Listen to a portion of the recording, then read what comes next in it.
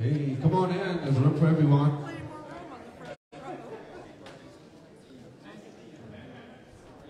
I should have some walk-up music or something going while we're killing the dead space. Let's see what I can find.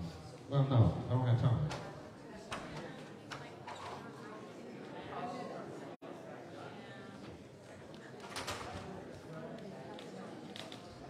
Okay, it's close enough to 3.30. We're going to go and get you out of here within the hour. Hopefully I won't run over by 30 seconds like the last group did, but I forget them. My name is Michael B. Uh, my wife and I, Luella, moved here to the villages in 2015 from Minneapolis, Minnesota. I am uh, an upcoming entertainer in the area, so you'll find I just launched a new website, and you'll find information about that outside the room on the uh, tables out there. And then I have a pop-up sign that you can also just point your camera to, and it'll take you straight to my website and you can learn all about me, so I won't go into all that history. But I've played with some phenomenal uh, musicians on uh, at least four different continents around the world, and a lot of different countries. We've lived in 10 different states, and uh, hopefully Florida will be my last. I'm going to start out with a little tune just to honor our veterans. So um, you'll find that I'm going to bring you a range of music, different genres, and uh, I learned a long time ago that in an effort to please everyone, you please no one. So I'm not going to ask for forgiveness to just be myself. I'm just going to be myself and do my thing.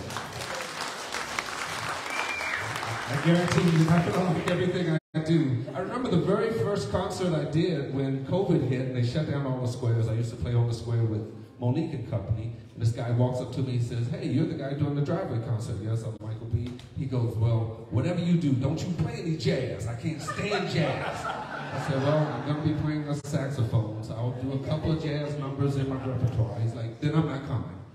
Okay, well, I, I didn't change my repertoire.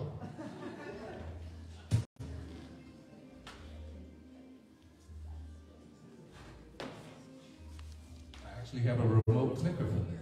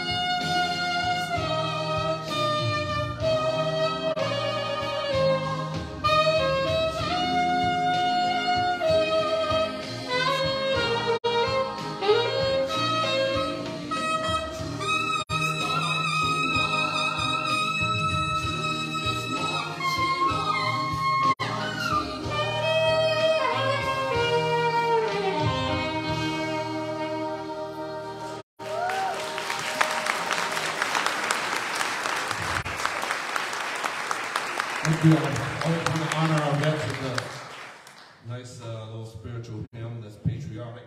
Um, just because my dad and all my, four older brothers all served in the military. I did not, and I regret that I didn't, but uh, always honor and respect our men and women who serve.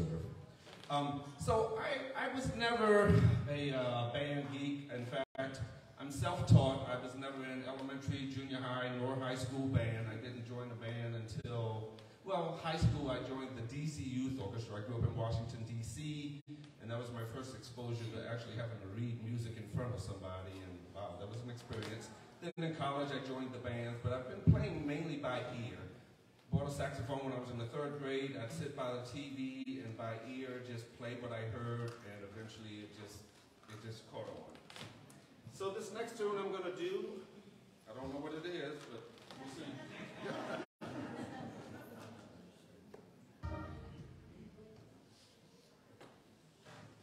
to be a little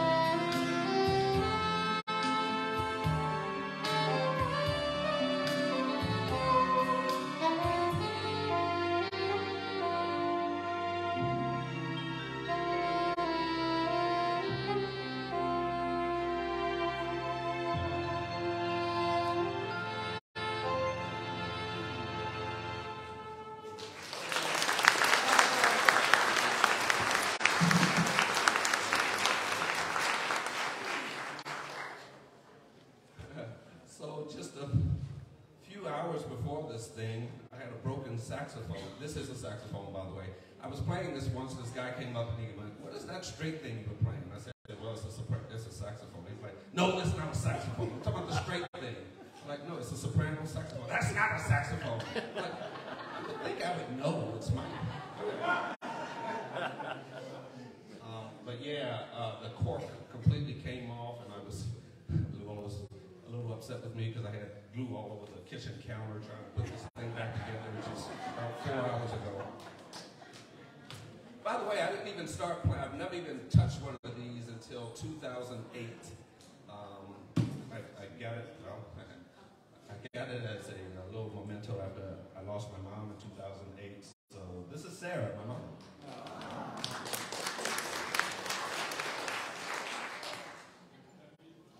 All my horns have have names and they have a story, but you'll find that on the website.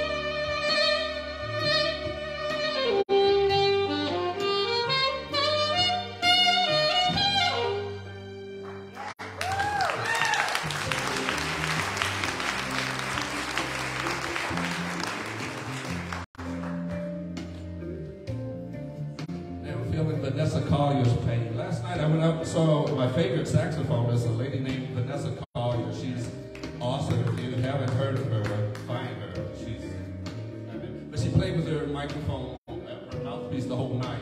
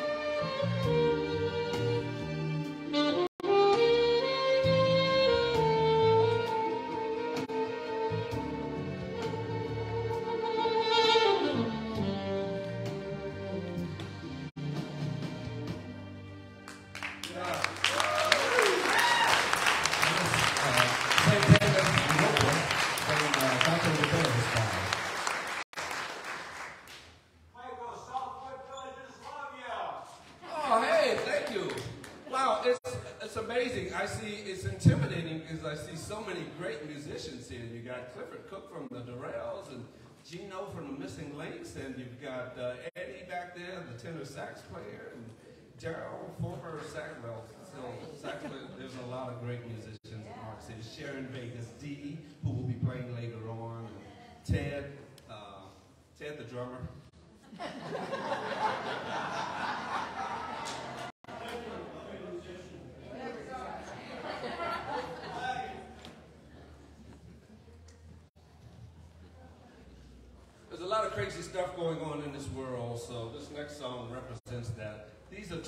that I don't normally do. I've got, uh, I have 250 songs in my repertoire, and I try to just mix them up and do stuff that you probably wouldn't hear out on the square. So here we go.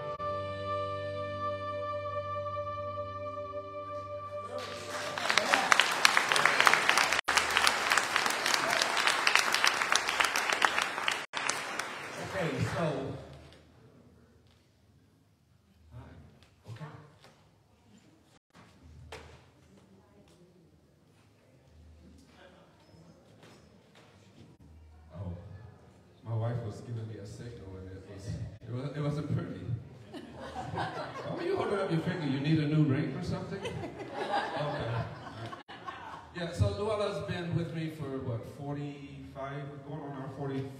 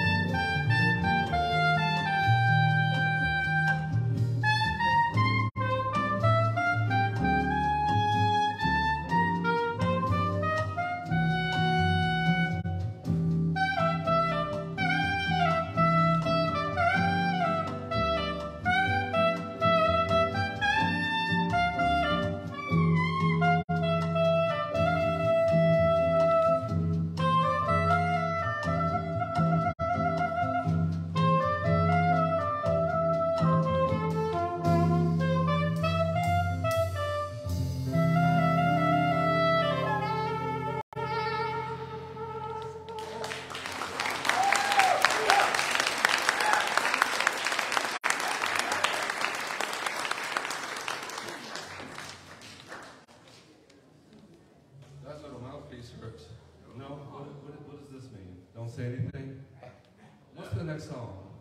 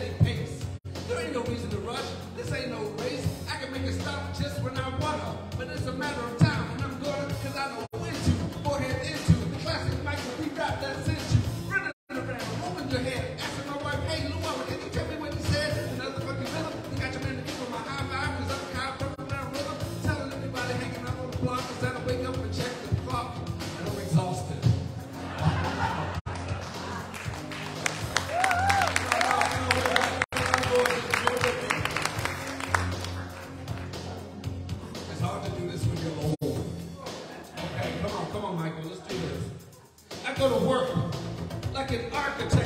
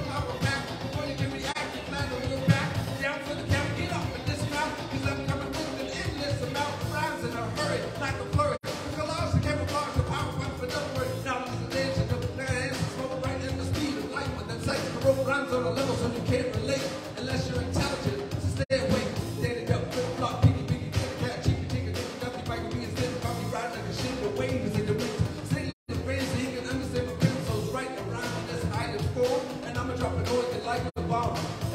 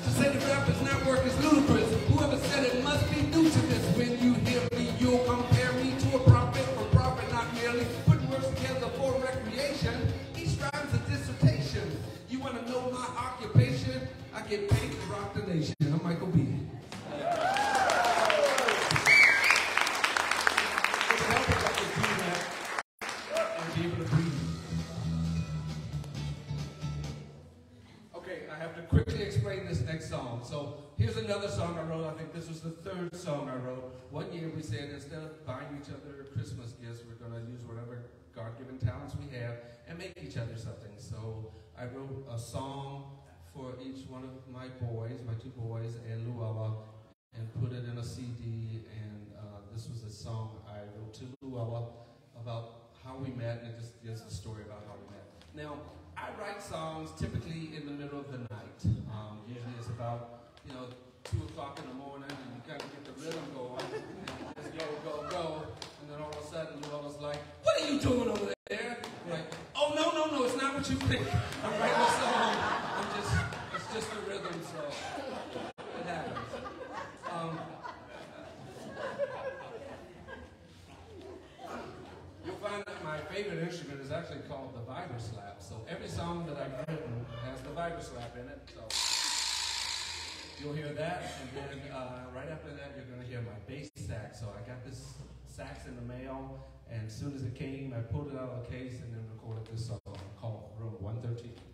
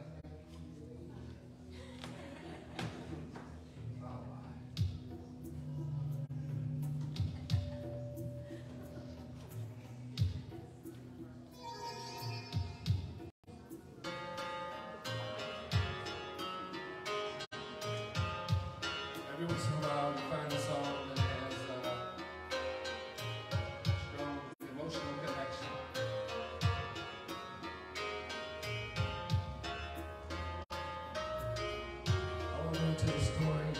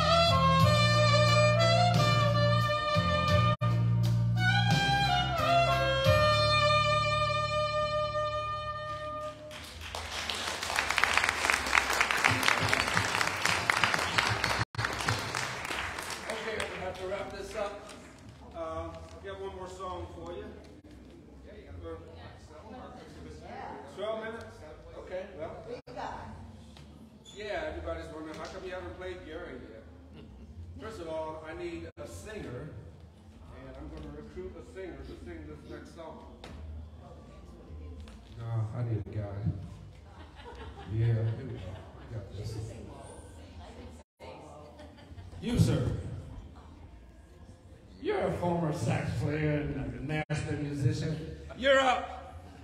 You you know the words.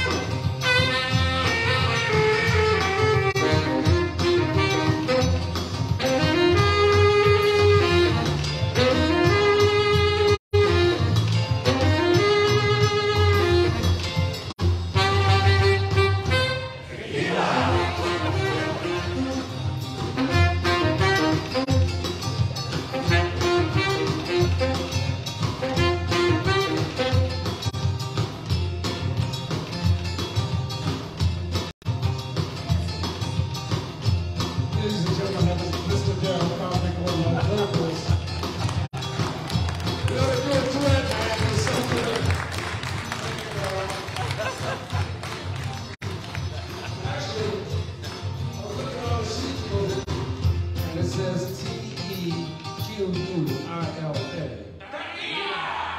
That's tech word.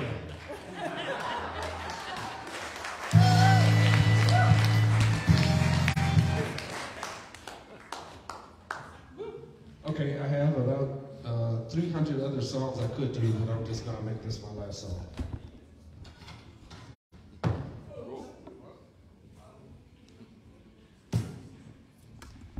Okay, she tells me what to do, so I'm do it. Um, hey, I want to thank all of my neighbors and friends for coming out from the Southwood Villas. Yeah! We're representing from Bridgeport, my own shores. Yeah! yeah. Neighborhoods came out in full force. Um, all my homeless friends. Yeah. a lot of people don't realize that I actually spent uh, a few decades uh, behind bars. Uh, were the handlebars of my motorcycle. And uh, just love to be free. This will be, I have to change horns. Another song you don't hear much in the villages, but uh, a lot of people request this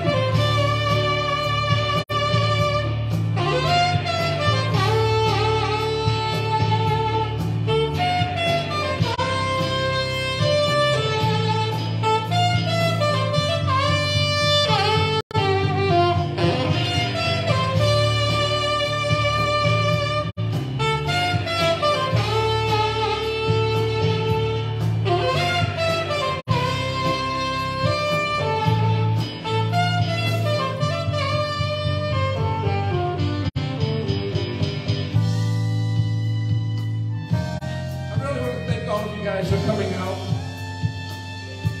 This uh, means a lot to me to be supported by friendly faces. A lot of people out there that aren't so friendly.